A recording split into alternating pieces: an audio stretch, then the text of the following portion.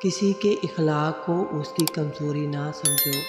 اگر وہ آپ کے طنز کرنے پر بھی آپ کی عزت کرتا ہے، تو اس سے مخلص کوئی انسان نہیں ہوتا۔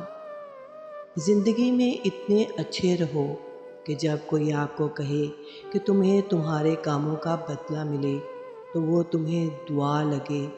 بد دعا نہیں، اتنے دور جا کر حاجی بن سکتے ہیں۔ تو ایک دوسرے کے قریب رہ کر انسان کیوں نہیں بن سکتے؟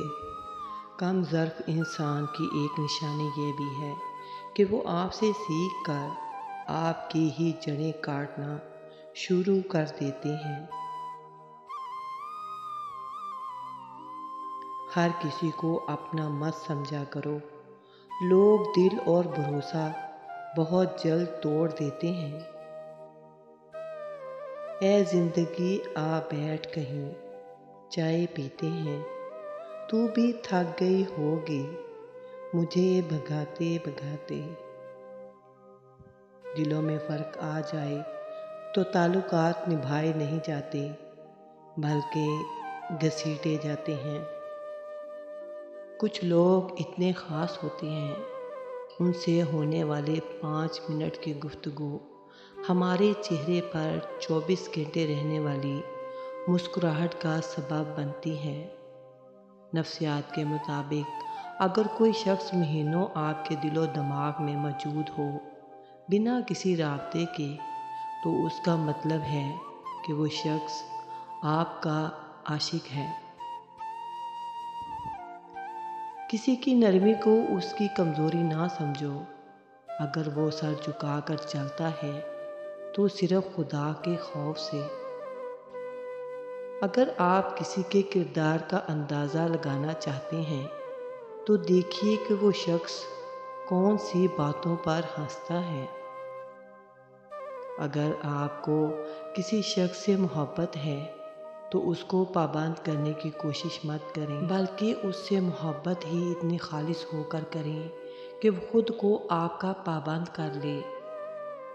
کسی عورت کے دل میں اپنی محبت ڈالنا چاہتے ہو، تو اس کی تعریف کرو، کیونکہ تعریف عورت کی سب سے بڑی کمزوری ہے۔ اگر بغیر ڈگری کے اس دنیا میں کوئی کامیاب ڈاکٹر ہے، تو وہ صرف ایک ماں ہے۔ اگر کسی کی یاد بار بار تمہارے ذہن میں آتی ہے، تو سمجھ جاؤ کہ وہ شخص بھی تمہیں یاد کرتا ہے، کیونکہ دل سے دل تک راہ ہوتی ہے۔ عورت اپنی عمر کے بارے میں اس وقت جھوٹ بولتی ہے جب اس کا چہرہ سچ بولنا شروع کر دے۔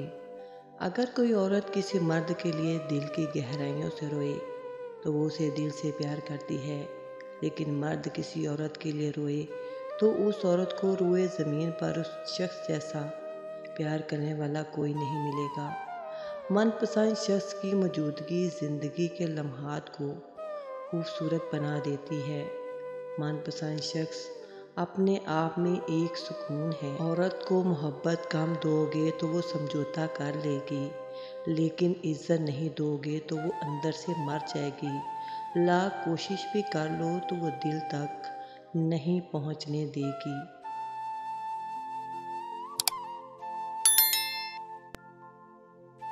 جب مرد کو کسی عورت کی یاد تڑپاتی ہے تو یہ ایک نشانی ظاہر ہوتی ہے۔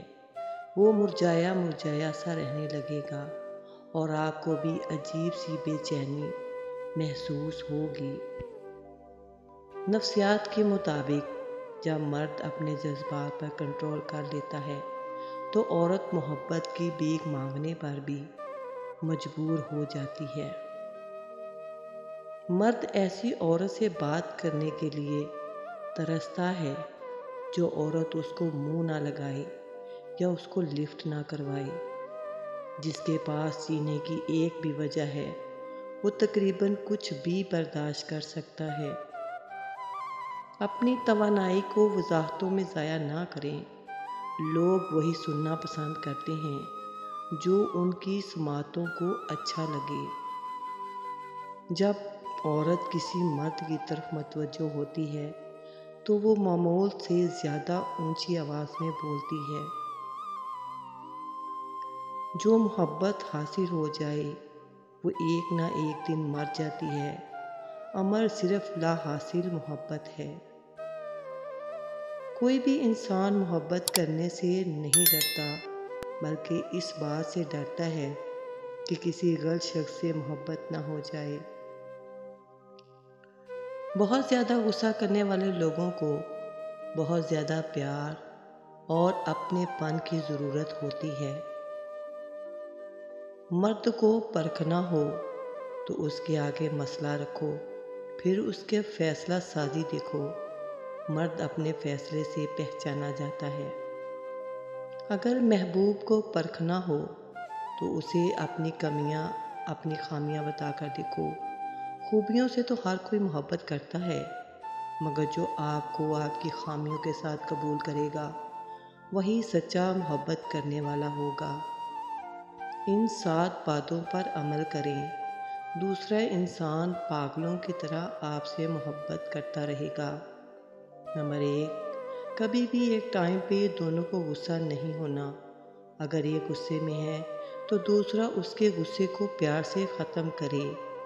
نمبر دو، کبھی بھی ایک دوسرے کے ماضی کی غلطیوں کو سامنے نہیں لانا، جس سے دوسرے انسان کو شرمندگی ہو۔